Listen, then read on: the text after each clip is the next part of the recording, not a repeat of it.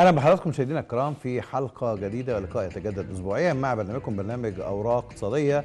تعرف على مستجدات الساحة الاقتصادية والمزيد من الأخبار على المستوى المحلي أو الإقليمي أو آه، الدولي ربما. وفي الجزء المتبقي من حلقة كل أسبوع دائما نتعرض لقضيه أو ملف بتفاصيل وتحليل ومعلومات أكثر حول هذه القضية. كما تعودنا اسبوعيا نبدأ باستعراض آه، عناوين الأخبار في حلقة اليوم. والخبر الأول معنا والعنوان الأول يقول استقرار معدل التضخم السنوي والحكومة تعلن نمو الاقتصاد المصري في الربع الثاني بنسبة 2% العام المالي الجاري.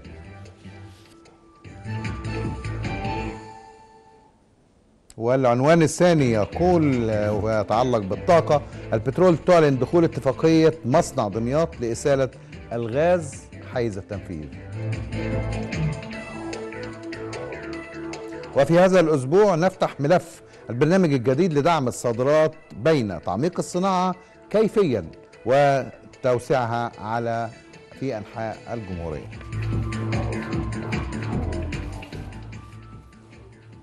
بعد استعراض العناوين نبدأ في تفاصيل الأخبار. الخبر الأول معنا محلي ويتعلق بمعدلات أداء الاقتصاد المصري في ظل جائحة كورونا على مدار آه، العام الماضي وهذا العام أيضا.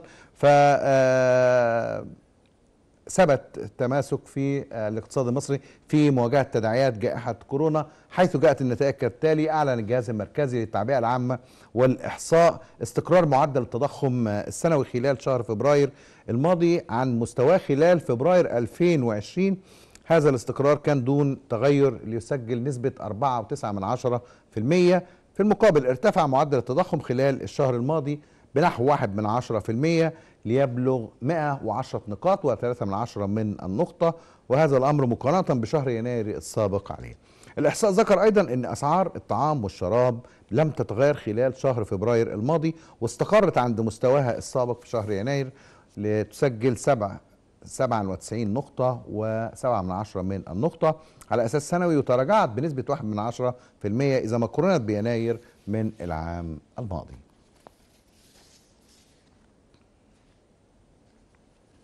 هننتقل لموضوع آخر وهو محلي أيضا ولكن بيتعلق بأداء الاقتصاد المصري ومعدلات النمو. أعلنت وزاره وزيرة التخطيط دكتور هالة السعيد أن اقتصاد مصر نما بنسبة 2 في المئة في الربع الثاني من العام أو السنة المالية الحالية والجارية اللي هي 2020 2021 آه، وزير التخطيط دكتور هاله السعيد أضافت خلال اجتماع مجلس الوزراء إن اقتصاد البلاد سجل نمو بنحو 1.35 من 100% وده كان في النصف الأول الحقيقة من السنة المالية الحالية مقارنة مع نمو بنسبة 5.6 من 10% في الفترة المقابلة من السنة الماضية. ووزير التخطيط آه، قالت أيضا إن توقعات تشير إلى استمرار ارتفاع معدل النمو خلال الربعين الثالث والرابع في السنة المالية الجارية إلى نحو 2.8 من 10% و5.3 من 10% وهذه النتيجة هتكون على آه، التوالي.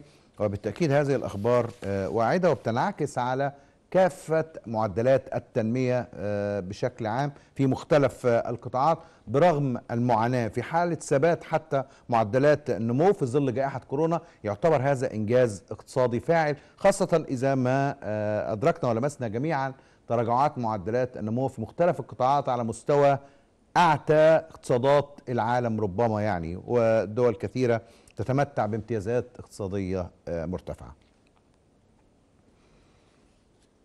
خلينا ننتقل لخبر تاني والحقيقة الخبر ده طال انتظاره وهي الخطوات الأولى آه، في تحول مصر لمركز آه، إقليمي للطاقة. ففي قطاع الطاقة أعلنت وزارة بترول دخول آه، اتفاقية المتعلقة بمصنع دمياط للإسالة دخلت بالفعل حيز التنفيذ وتسوية جميع المطالبات بين الشركة المصرية القابضه للغازات الطبيعية ايجاس وشركة يونيون فينوسا للغاز والشركة الإسبانية المصرية للغاز.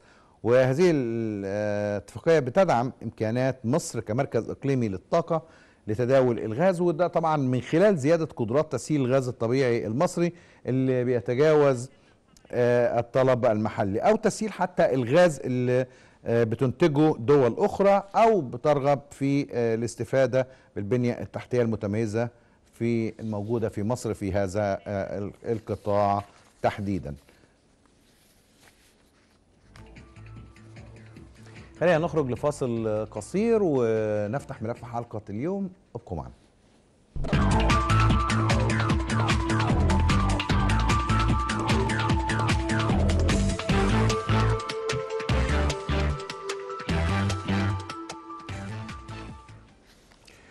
زيادة معدلات تنمية الصادرات ورفع معدلات تنمية الصادرات ملف هام بتوليه الدولة أولوية كبيرة وهو أحد أهم توجهات وتوجيهات الرئيس عبد الفتاح السيسي للحكومة المصرية منذ سنوات عديدة. لكن هذا الملف في حالة ما يفتح لابد له من بنية تحتية ولابد له من خطط واستراتيجيات طويلة وبعيدة المدى مناقشات تجمع بين عدة كيانات وهيئات. الدولة المصرية بالفعل وعلى مدار الأشهر الثلاثة الماضية وزيرة الصناعة دكتور نيفين جامع اجتمعت مع كافة مختلف المجالس التصديرية لوضع برنامج تصديري جديد لرفع معدلات التصدير وكانت الرؤية الحقيقة بأن هذه المعدلات ترتفع على مدار السنوات الثلاثة المقبلة بنسبة 10% و15% تدريجيا ثم تصل إلى 20% لكن هذا التنسيق وهذه الخطة كانت أيضا بتهدف إلى عملية تعميق الصناعة وإشراك المنتج المحلي وتقديم امتيازات وحوافز للمجالس والجهات التصديرية المختلفة علاوة على الاهتمام بتصدير الصناعات الصغيرة. وهذا الأمر كان بيتطلب رفع كثير من الأعباء عن المصدرين. من ناحية القيمة المضافة والأعباء التصديرية اللي كان بيتحملها المصدرين. أيضا كان هناك توجه لتعميق من الدولة لتعميق الصناعة وفتح أفاق مصانع جديدة على مختلف المناطق الحدودية وتحديدا أو بالأخص منطقة الجنوب صعيد مصر أيضا استغلال محور قناة السويس تفريعات كثيرة ورؤى كثيرة انشقت في أو ظهرت على سطح في من خلال وضع هذا البرنامج. هذا البرنامج سيثير الحقيقة تساؤلات كثيرة لكن قبل أن نفتح ملف الحلقة دعونا نتابع التقرير التالي حول برنامج تنمية الصادرات المصرية. ثم نبدأ النقاش مع ضيوفنا ابقوا معنا. لاستعراض أهم ملامح برنامج دعم وتنمية الصادرات الجديد. عقد رئيس الوزراء مصطفى مدبول اجتماعا خاصة مع اهتمام الدولة بملف زيادة الصادرات. وأوضح رئيس الوزراء أهم ملامح ومحاور البرنامج المقترح وأهدافه مشيرا إلى أنه سيتم تنفيذه على مدار ثلاث سنوات على أن يتم عرض تقييم سنوي إضافة إلى إجراء تقييم شامل للنتائج بعد مرور ثلاث سنوات. برنامج دعم وتنمية الصادرات يسهم في الحفاظ على معدلات نمو الصادرات الحالية في السنة الأولى من تنفيذ البرنامج وزيادة معدلات نمو الصادرات خلال السنتين التاليتين بنسب متزايدة تبدأ ب 10% في السنة الأولى وتتزايد إلى 15% إلى 20% في السنوات التالية.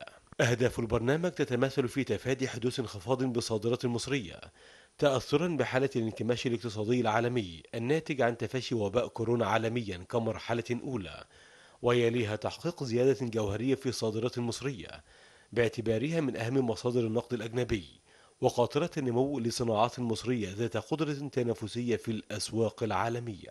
البرنامج يهدف إلى رفع معدلات تشغيل العمالة بالصناعات المختلفة لاستيعاب الطاقات الإضافية نتيجة توقف بعض الأنشطة الاقتصادية وتحقيق نقلة جوهرية في الاستثمارات المحلية والأجنبية في الصناعات المختلفة على نحو يستوعب المتغيرات الاقتصادية الناتجة عن تفشي وباء كورونا عالميا وتعميق الصناعة ورفع مستويات الجودة. وتراجعت الصادرات المصرية بنسبة 1% خلال العام الماضي لتصل إلى 25.3 مليار دولار مقابل 25.6 مليار دولار خلال 2019 فيما هبطت الواردات إلى 12% لتصل إلى 63 مليار و587 مليار دولار مقابل 71 مليار و862 مليون دولار بحسب تقرير مؤشرات أداء التجارة الخارجية لمصر خلال العام الماضي.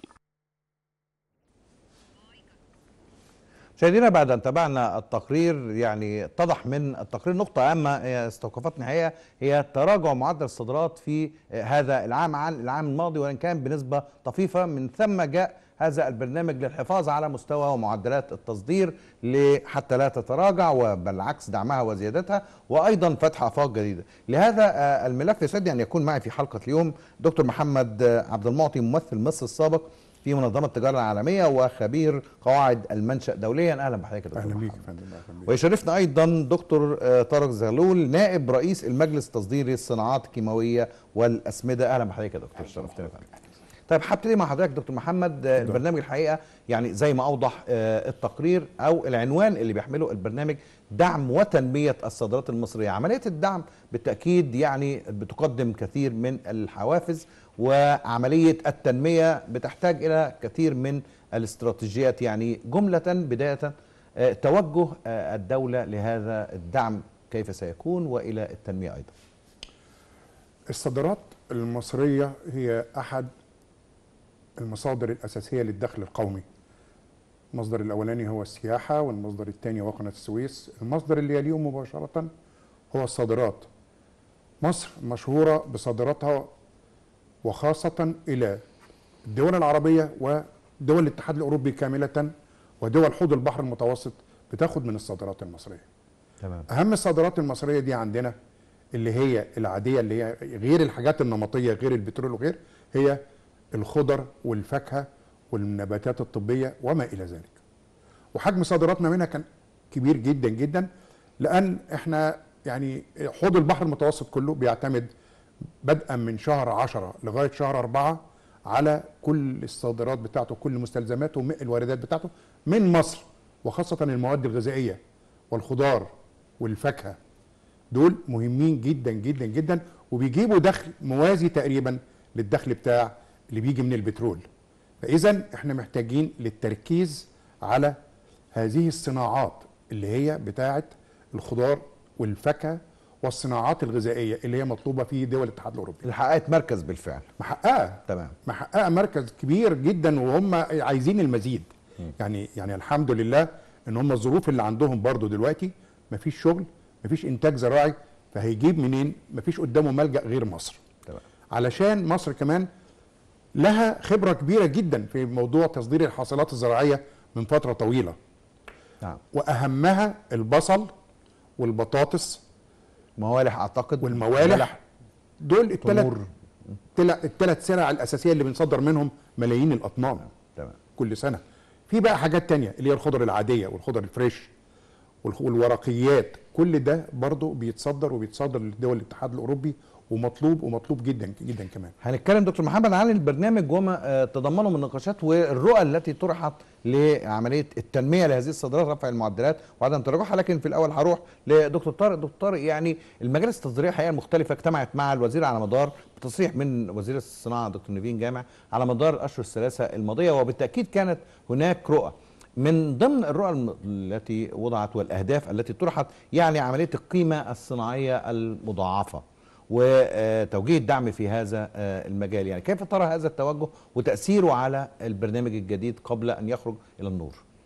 طبعا آه، زي ما حضرتك اتفضلت استراتيجية الدولة هي لنمو الصناعة. وأهم جزء في النمو الصناعة هو استهداف زيادة نسبة المنتج المحلي أو المكون المحلي آه، للمنتجات المصرية.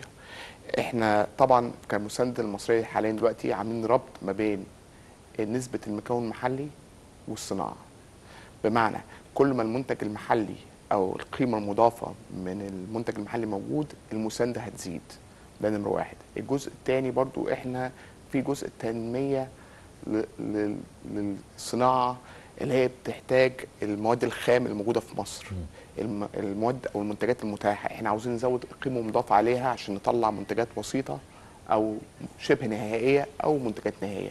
فده حضرتك الاستراتيجيه اللي إحنا ماشيين بيها وال والهدف إن إحنا نصل إلى حوالي 10% في السنة نمو في الصناعة على 2030 إن شاء الله. على 2030 والمفروض آه، ال- ال- الزيادة دي بالتأكيد هتكون مصحوبة بامتيازات متعددة. طيب دكتور طارق دكتور محمد خلينا آه، قبل ما نبدأ نفتح ملف البرنامج ومفرداته وكثير من النقاط التي تم استعراضها نشوف بعض المعلومات مع مشاهدينا الكرام من خلال فاصل معلوماتي قصير نتعرف على بعض تفاصيل البرنامج التنموي الجديد دعم الصادرات المصرية. نتابع.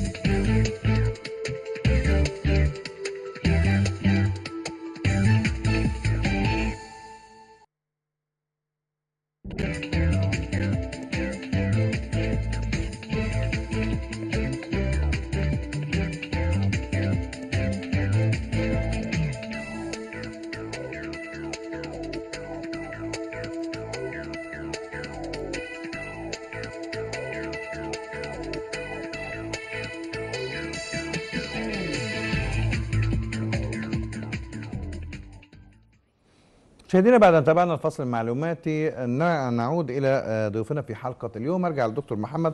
دكتور محمد يعني هو البرنامج في آه، نقاطه أو الأهداف التي وضعها. آه، حط نقطة مهمة جدا أو بعدين مهمين جدا اللي هي الصادرات الصناعية ومناطق الصعيد وما أسماء أيضا بالصناعات المستهدفة. كيف ترى هذا التوجه وتأثيره على عملية زيادة الصادرات وحجمها؟ هي عشان أنا أزود صادرات أي حاجة. ايا كانت هذه النوعية. لازم أعرف مين اللي هياخدها مني أو أنا هوديها لمين واحتياجاته إيه. ولازم لما أجي أعمل صناعة ما بعملش المتاح ليا لا أنا بعمل طبقا للعميل بتاعي عايز إيه. طلبوا إيه تحديدا؟ طلبه إيه مواصفاته تمام. إيه الكلام ده كله إيه. وبعدين أنا النهارده لما أجي أدخل صناعات صغيرة في منطقة الصعيد منطقة الصعيد مليانة عمالة مليانة عمالة كتير ليه لأ؟ وليه ما أعملش مجموعة مصانع هناك؟ زي مصانع الأسمدة وزي مصانع الصناعات الصغيرة والكلام ده كله. ليه؟ لأن النهارده التكلفة هي المعيار الوحيد اللي بيخليني أقدر أصدر أو لأ. لو أنا عملت في المصانع اللي موجودة هنا بتبقى التكلفة بتاعتها إلى حد ما عالية شوية. النهارده لما أجي أعمل مصانع زي دي في الصعيد والعمالة هناك متوفرة هتبقى لو في نسبة 1% انخفاض في التكلفة هيبقى مفيد. نعم. مفيد ليه؟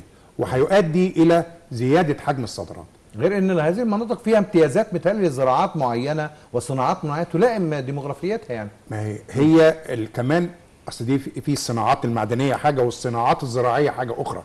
دي ده شغل وده شغل. أنا برضو هناك لما أزود المنتجات الزراعية في مناطق الصعيد ممكن جدا أزود برضو مصانع بتاعة الإنتاج الصناعي الزراعي. نعم. ودي برضو مطلوبة في الخارج. في حاجة تانية.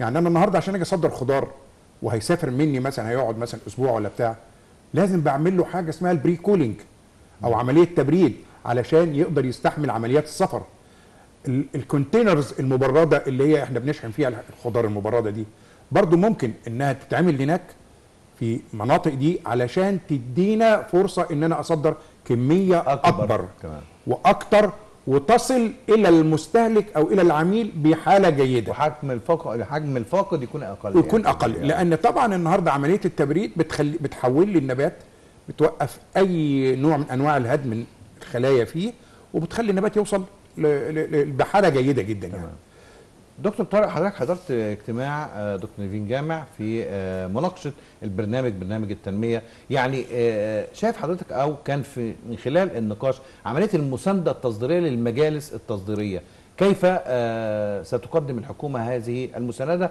وتأثير هذه المساندة على دور المجالس نفسها في دعم عملية التصدير؟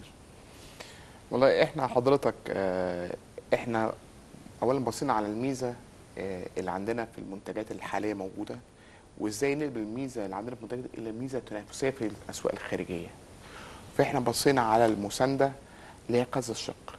المساندة اولا بصينا على موضوع التسويق زي ما زي ما الدكتور اتفضل وقال التسويق ده من الحاجات المهمة. لازم نعمل تسويق في الدول الخارجية نشوف إيه اللي, إيه اللي إحنا عندنا وإيه اللي نقدم لل- للدول دي. ده بالنسبة لم- فإحنا عملنا جزء مساندة جامدة في التسويق. معلش اسمح لي نعم. أضيف هنا. مش مش هقول له أنا مش عايز أطلع اللي عندنا. أنا عايز أنت عايز إيه؟ أنا أصنعه لك طبقا لمواصفاتك. ده التصدير عشان ينجح. صحيح واخد صحيح بالك؟ صحيح. آه أنا أنا موافق مع حضرتك.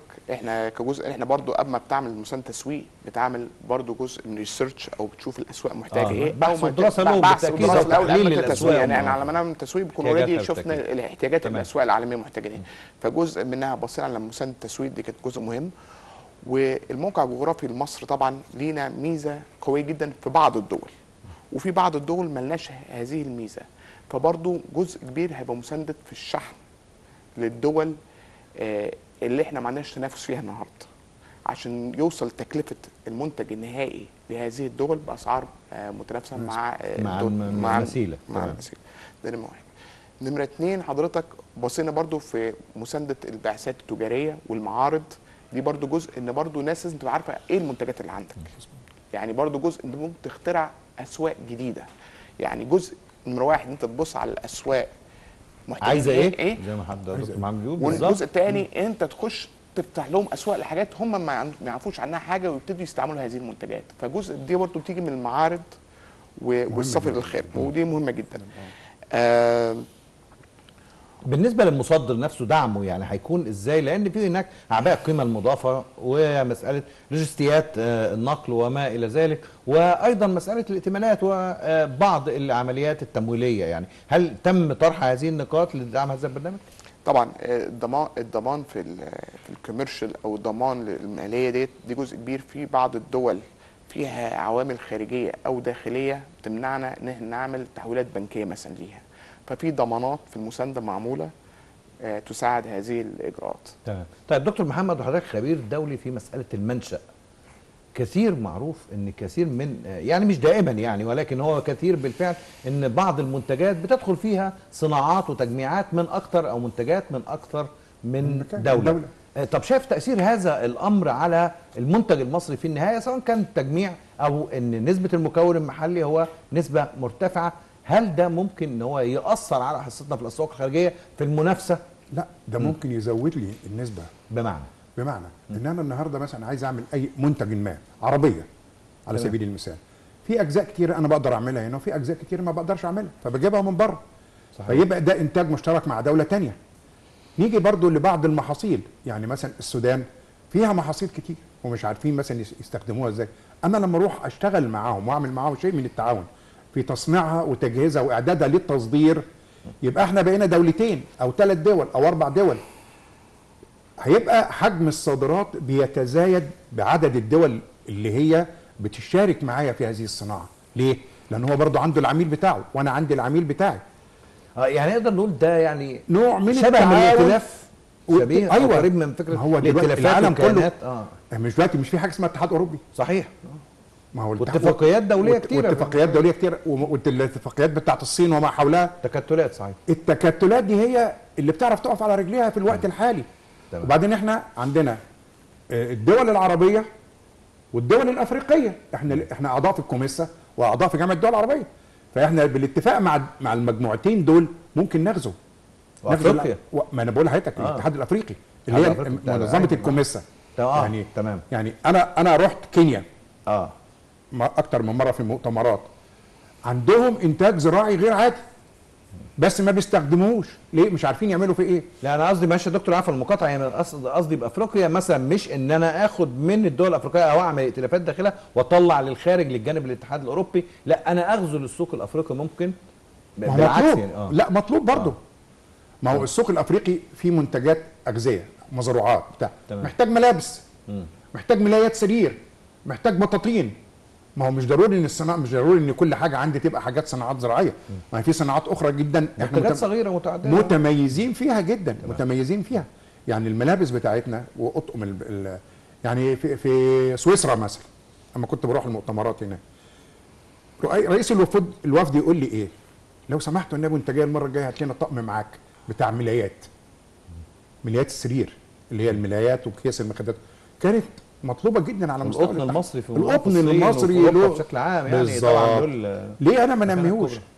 ليه أنا ما نميش الحتة دي وبرضو أفريقيا فيها حاجات كتيرة جدا ممكن أنا آخد منها بعض الخامات وأعيد تصنيعها هنا وأصدرها إنها بتاعتي تمام ده عادي جدا و- و- آه. والدول كلها بتعمله تمام دكتور طارق يعني كان توجه البرنامج أو الوزارة بمعنى صح في هذا البرنامج. دعم البنية الأساسية للعملية التصديرية. حضرتك هتفسر لنا النقطة دي وتوضح لنا أيضا أهم مطالب المجالس أو اللي اجتمعت المطالب اللي اجتمعت عليها المجالس التصديرية المختلفه لعملية الدعم قبل إصدار البرنامج الجديد. طبعا بس عاوز أضيف نقطة على. جزء أفريقيا. طبعا سوق أفريقيا ده من أهم الأسواق بالنسبة لنا تصديريا. مظبوط.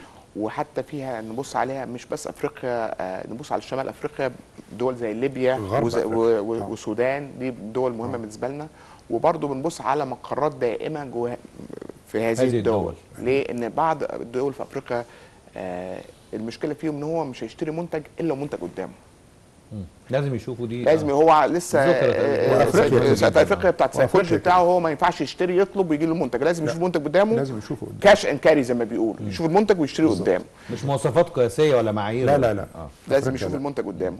وده بالنسبة لأفريقيا. بالنسبة لنا إحنا ك يعني إحنا اللي إحنا عاوزين نشوفه في ال- مع وزارة الصناعة أو المساندة التصديرية أهم حاجة صرف المستحقات.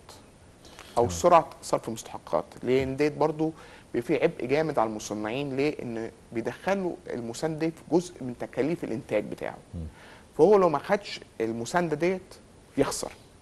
عشان يتنافس في الدول حاجة ب 100 جنيه عشان يبيعها ب 90 جنيه أو يخفض أسعاره ل 90 جنيه هيخسر لو ما خدش الفرق ال 10 جنيه دول.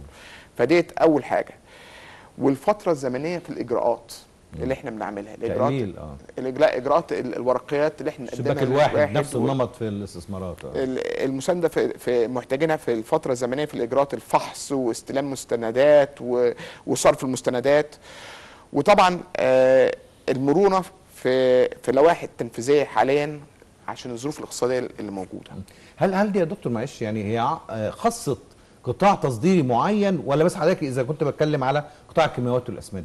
هل كان لكم طلبات آه، يعني آه، خاصة بهذا القطاع؟ اختلفت عن قطاع الأغذية اختلفت عن قطاع المنسوجات أم اتحدت الرؤى كلها في اتجاه واحد؟ إحنا اتحادنا رؤية عامة ك كمصدرين. آه، الاحتياجات تقريبا هي هي. في بعض اختلافات حاجات بسيطة بين بين المجالس المختلفه آه، إحنا كان لينا مثلا طلب مهم جدا إن إحنا آه، الشحن آه، أو مساندة الشحن لأفريقيا يحطوا في الاعتبار الدول الحبيسة. لأن في دول أيوه. موجودة في النص ما تعرفش ما تعرفش توصل لها ديت. فدي محتاجة مش جوي وبري ومحتاج نقل آه، صعب نقل داخلي صعب وصعب جداً، آه. وتكلفة عالية جدا جدا. فبرضه مستهدفه مستهدفة طبعا آه. مستهدفه فديت من الأجزاء المهم اللي إحنا كمجلس آه، طلبناها إن إحنا نبص على المساندة في الشحن في الدول الحبيسه حبيبي هرجع لدكتور محمد. دكتور أنا بس عايز أضيف حاجة برضه. بالنسبة للدعم. يا ريت يبقى الدعم برضه على قد حجم الصادرات. بمعنى لو صدرت ب 100 مليون هتاخد مثلا 5% سي لو صدرت ب 150 يبقى 7% لو صدرت ب 200 يبقى تم- 10% الامتيازات ترتبط بالأح... بال- بالحجم. آه. عشان أديله برضه القدرة إن الراجل عشان يفتتح نفسه إن هو يشتغل. لأن المصدر ده بيحط فلوس وبيحط بضاعة والريسك عنده عالي جدا. آه. دكتور هستغل خبرة حضرتك اتفضل. برضه الدولية في مسألة ال- ال- المنشا والصادرات والتقييم الدولي للبحوث. لو آه، في ظل المنافسة الموجودة على مستوى دول العالم في آه، الاستحواذ على حصص سوقية في عملية التصدير فرصة مصر إيه وما ما الذي يتطلبه هذا البرنامج للتفوق على الدول المنافسة هو عشان ياخد حصة بتاع التصدير أكبر مني بيعمل إيه؟ يا إما بيدي نوعية أعلى يا إما بيدي كجودة؟ تس... كجودة يا إما بيدي تسهيلات في الدفع يا إما بيدي سعر أقل تمام. غير كده مش هيقدر أنا أقدر أوصل للكلام ده كله برضه هنا في مصر ونعمله كلما زاد حجم الصادرات لأن دي هتمكنني من إن أنا أعمل كل هذه المميزات وأديله المميزات دي. إحنا بالنسبة لدول الكوميسا كلها برضو بنديها أنواع من الإعفاءات. يعني زمان كان أي تصدير لازم payment in advance الدفع مقدما. وبعد كده بقت باعتمادات. وبعد دلوقتي بقت ما بقاش فيه كمان اعتمادات. بقى العلاقة ما بين المصدر والمستورد. وكتير جدا برضو النقطة دي. يعني المصدرين بيشتكوا من إن المستوردين ما بيدفعوش الفلوس. بيرجعوها تاني. آه، دي نقطة دي نقطة مهمة جدا. هتنقل أيوة، دكتور أيوة. طارق. هل أثيرت مثل هذه النقاط في آه، الاجتماع يا دكتور طارق؟ يعني أو أو أو تم وضع بعض النقاط آه، تحوطية تدعم هذه النقطة؟ مسألة آه، تأجيل الدفع طبعا زي ما دكتور محمد بيقول والتأخير ولأن في امتيازات بالتأكيد تنافسية. فكان منظور البرنامج أو آه، الملاحظات اللي يجب أن تدرك في هذا البرنامج في المنافسة. إحنا حضرتك بالنسبة للجزئيه دي بالذات بصينا على الضمان المخاطرة بتاع المالية الضمانات عشان ال risk أو تأمين ال risk معمول. إحنا في مساندة للجزئية دي ولكن آه، إحنا إحنا كمجلس أو مجلس تصديري إحنا بنبص على نقطة added value زي ما حضرتك بتقول لازم نزود ال value بتاعت المنتج المصري. يا حاجة من حاجتين يا نقلل أسعارنا ومش أسعارنا بمسانده بس.